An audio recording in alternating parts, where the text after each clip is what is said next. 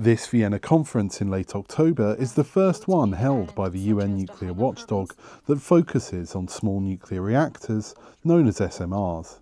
Rafael Mariano Grossi, the director of the International Atomic Energy Agency, or IAEA, says less developed countries have signed deals to build the SMRs that will give them nuclear power for the first time. The small and modular reactors, one of the most promising, exciting, and necessary technological developments that we have had coming for quite a long time, but that we know now that are, is going to be a reality.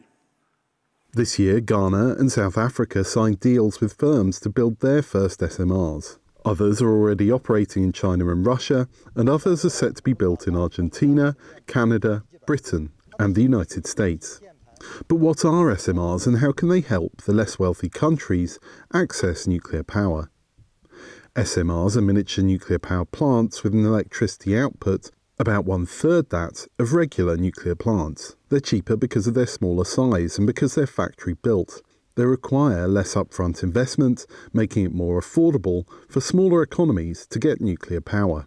Modular parts make the small reactors easier to alter and upgrade and less expensive to maintain. Experts say because of these things, SMRs have the potential to transform economies we need instant solution to address the energy security. As you know, that energy is the center of the economy. So this energy scarcity or the energy challenges that are faced in Africa, it's, it's, it kills our economy.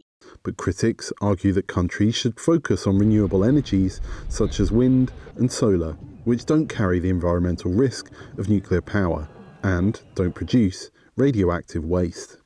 Ed Lyman, Director of Nuclear Safety at the Union of Concerned Scientists, warns SMRs don't benefit from the same economies of scale as larger nuclear power plants. He says his analysis of one company's SMR shows customers can end up paying five times more when compared to larger plants for the electricity they produce. Because of the higher generation costs, he says, operators might have to limit expenses and run a higher safety risk. There's um, just too much pressure uh, to uh, to cut costs in other ways. For instance, by um, uh, reducing the number of operators. Lyman also said a strong independent national regulator is essential for avoiding nuclear incidents, and that it's not always clear how SMR deals will be financed. Henry Wilkins, VOA News.